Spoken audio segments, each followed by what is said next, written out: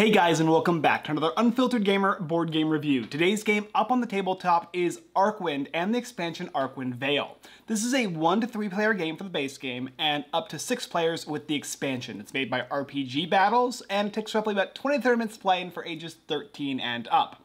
In the game Archwynd, you are going to be assigned a character at random, you're going to get a number of cards, and you're going to go ahead and fight in dungeons. This game kind of plays like Cutthroat Caverns, in which you're going to be having to deal with monsters as they pop up, and you have the opportunity to kind of send them on their way to some other unexpected uh, adventure, or tackle them on yourself to gain yourself some loot. Loot comes in a variety of different cards and tokens that you can use to gain new cards or more HP, and your objective is to remove everybody else from the game except for yourself. Last person standing as the winner in the game, talk about the setup, how to play, and of course, my review. Setting up the game Archwynd is actually quite simple, and the way you set it up is you'll take two of the main decks of cards and shuffle them and put them in the middle of the table, the dungeon deck and the action deck. Additionally, depending on the number of players playing the game, is how many of each of the three cards are put into the action deck. Raise Dead, uh, Healing Potion, and Treasure cards. A three-player game, put three of each of these cards into the deck. Additionally, you'll take out the teleport cards and give one to each player and set the rest aside. After the deck has been shuffled with those cards in it, you're going to deal out four cards to each player, meaning they'll have those four cards plus the teleport card.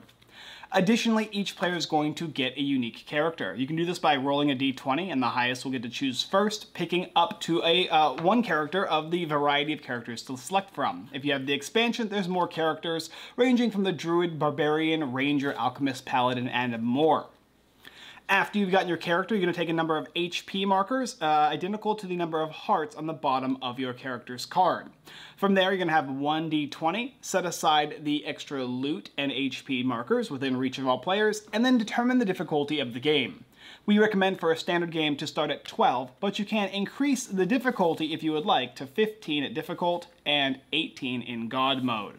After you set the difficulty and you have the decks and your characters and their HP and your cards, you're ready to go. Let's start. Archwynd is a game that is played in turns, and basically what that means is on your turn, you're going to take each of the actions presented on your turn, or phases, and then you're going to pass to the player on your left, and they're going to take their turn and each of the phases involved there, progressing up until the point where there's only one player left remaining. Hopefully that's you. How a turn works is pretty simple. On your turn, you're going to start with the number of cards in your hand. The four that you started with plus the teleport makes five. Then you're going to go ahead and draw a card. The draw phase is first, then it goes to the play phase. For the play phase, you can actually play any cards you want from your hand. You can play up to one of each type of equipment, whether it be armor or a weapon. You could play spells. Uh, you could go ahead and read the bones or dig through the graveyard with these cards. But basically the idea is play the cards that you want to play from your hand as long as they are applicable. After you have done so, you're going to go to the redeem step. In the redeem step, you can go ahead and discard any of your loot tokens to do one of two things. You can discard two loot tokens to draw one card from this deck here, or you can go ahead and discard three loot tokens to take an HP. If you do that, you can never take more than your starting HP. Like for instance, the Alchemist has five, so I can never go to six, and the Paladin has four. After you have spent your loot tokens for your additional loot, you'll move on to the discard phase, and in general, each player has a 5 card hand limit. There are characters like the Wizard that can increase that total, but for the majority it's 5, and you have to discard down to that limit with cards that are in your hand, not represented by cards that are either been played or cards that are currently equipped to you. From there, you're going to move on to the encounter step, the last step of the phase. How that works is you're going to simply take your d20, you're going to roll that d20, and then you're going to check the difficulty. Based on the difficulty of your specific game mode, in this case it's 12, if you roll equal to or less than this number, you're going to encounter the uh, card on the top of the encounter deck. I rolled a 2, the difficulty is 12, I'm going to go ahead and take a card. If I rolled higher, I would simply end my turn, it would pass to the next player. But because I rolled a 2, I'm going to go ahead and flip over this card here. These cards can be traps, they can be events, they can be monsters, and basically how it works is pretty simple. If it's not a monster or a bad guy of some form, you're going to go ahead and just read it and do what it says. Ah, this card here is the Fountain of Youth. It says I can heal an HP for each card from your hand or equipped item that you sacrifice to the discard pile. So if I was at 1 HP but I had lots of cards in my hand, I could discard these cards to go ahead and gain HP up to my total. Uh, once you have fully encountered that card, you're done.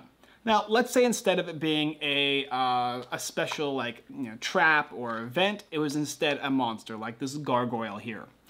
These characters have an HP, they have a defense or armor value, and they have an attack value as well as an ability. Basically how combat works is pretty simple. The first thing you're going to do is you're going to determine who, um, who begins the combat. And the way you do that is you roll a d20. The player to your left can be the person who assigns the d20 for the monster. You maybe use one of these black die.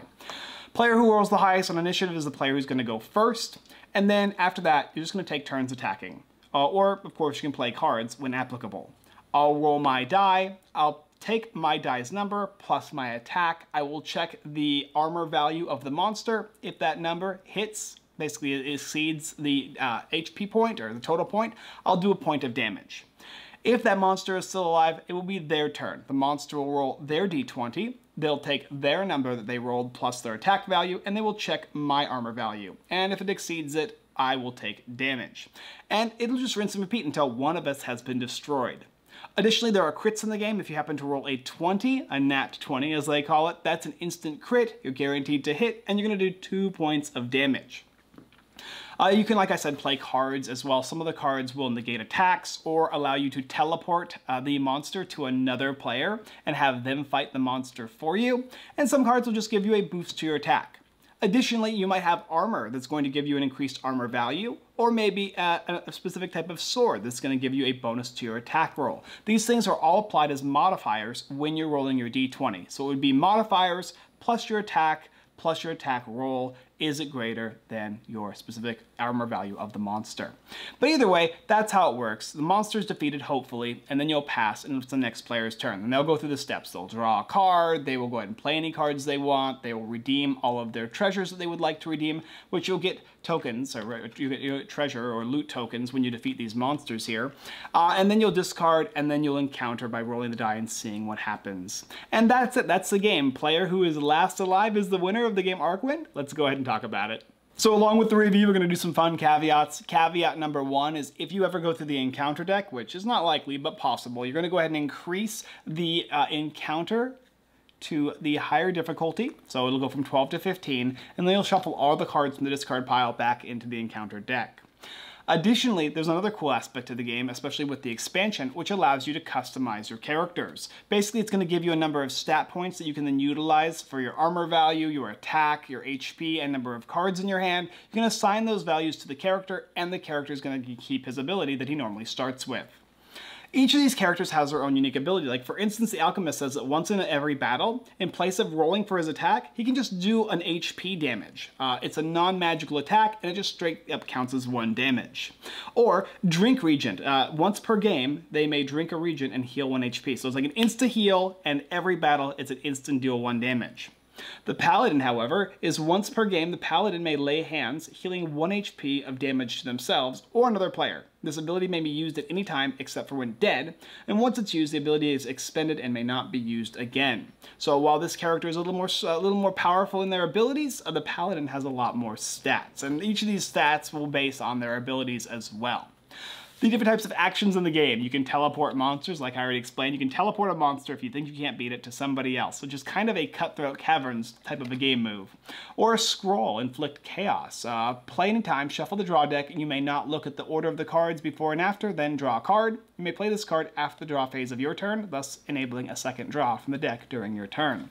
Or perhaps shift, sifting the bones. You can play on your turn, you may select a single card from the discard pile and place it in your hand. Any card in the discard pile is eligible for selection Wow, that's very nice, especially when a card has been played that was very strong. Time stop, play any time. Choose one of the following. Skip the encounter phase of your turn, so you don't have to roll for the encounter, or avoid damage from a trap. Might be a trap explodes, doing 3 damage to everybody. You can play a time stop, avoiding that damage. Uh, and each of these cards has their own notes on them for any questions that you might have. So makes them pretty simple to understand. Like a teleport's probably the more complicated one, but you can only play a teleport on your turn, giving the monster to somebody else, meaning that they cannot teleport a teleported monster because it's technically my turn when I gave the monster over to you, so you have to deal with it. And then of course, there are weapons in the game. There's a whole list of different little things you can add to your characters, uh, whether it be armor or weapons that'll increase your value. Like for instance, here is a Magic Morning Star giving you plus two. You play it on your turn and equip weapons slot on the character card to gain a bonus on any d20 attack roll. So it just gives you an understanding of this, but mainly it's just for the stat roll. So that's the same for most armor and uh, weaponry. Each of the equip, uh, each of the encounters are different and unique. Uh, feel kind of fun to pull and just see what happens, whether it be rolling 3d20s and for each 15 plus, either heal an HP or select a card from the discard pile. Wow, that's really nice. Or having to deal with something like a Chaos Storm, where it says that you have to roll a d20 for each card in your hand, and for each result of 11 or less, you discard that card and draw a fresh card from the draw deck, which can be good, can be bad. Some of the monsters are more dangerous than others. It's a little bit of luck involved in that way, and of course this game is chocked full of luck, right? That is, this is a D&D player's type of card game. It's all about rolling and using the D20 system. You basically take in a D20, you roll for initiative, then combat begins by rolling a D20 and adding your attack and modifiers, attempting to defeat monsters, while also making your opponents suffer as much as you can, and start trying to stay alive. Uh, it's very rare we're going to be helping people, but maybe there is some situations where you want to benefit somebody in hopes that they benefit you back. But for the majority, it's all about survival and trying to defeat the monsters, gaining those precious, precious loot tokens, and mainly rolling high. This dice is king in this game, so it is definitely very luck-based. Those of you who do not like luck-based games, eh, even though you can modify your luck to an extent as far as weapons and armor goes, and cards that you can play do give you modifiers and kind of change the odds, at the end of the day, if you roll a 1 to a 5, you're likely going to fail. also, this game, depending on the difficulty, can end very quickly. And by end, I mean you can jump out of the game and you're going to have to go ahead and play something else in the corner for the next 5 to 10 minutes. Oh no! Uh, because the game can be kind of uh, dangerous for you when you're fighting a gargoyle and you only have 1 HP left and they got 2 HP, means they're going to be able to attack you again, so you got to hit that nat 20. And so there are ways in which the game can be very aggressive to you and very uh, punishing, which, you know, for some people, like my Cutthroat Caverns fans out there, are going to dig this type of a game. It's Cutthroat Caverns with a d20 system attached to it and some customization to your characters, allowing you to change the stats of your character, which is one of my favorite aspects to the game. I really like that idea, being able to kind of have your own customizing ability for your characters. I love the fact that they all have their unique abilities, even the monsters have their unique abilities. It's not always a monster, you don't always fight in an event or a counter. Sometimes you'll just get to kind of mold your character in your hand, which works really well. The game's simple. It's very straightforward. Take your turn, basically just drawing a card and checking for an encounter, and then passing. And you go back and forth until there's only one player left. It's it's Highlander, right? Highlander meets Cutthroat Caverns meets a D&D 20 system. It's a fun game, but as long as you don't mind the luck, the aggressive aspect of the game, and the player elimination, then you're gonna dig this game. There are some varieties that can allow people to come back from the dead, like raising the dead and whatnot. But for the most part, that's pretty much how the game goes. It's quick though, so it's not super punishing for players to have to sit out for a couple minutes before the game is over. And most likely players die one at a time in kind of turn order and there's one player left. If you're interested in Archwynd, there is a link down below in the description where you can go ahead and pick this game up. Thank you for watching another Unfiltered Gamer board game review for the game Archwynd, and of course the expansion Archwynd Vale. If you're interested in picking the game up, there's a link down below, like I stated, as well as if you really appreciate the video, if you really want to help support us, go ahead and hit that subscribe button and the bell notification button so you can see more of our videos where we cover all kinds of board games. And if you want, there is a live stream every Sunday at 6.30 p.m. PST where we play games just like this one, as well as a Whatnot stream at Wednesday at 6.30 p.m. PST. Alright guys, that's all I got for this time, and as always, I look forward to delving into the dungeon, gathering the treasures, and defeating the monsters, while you all perish next time.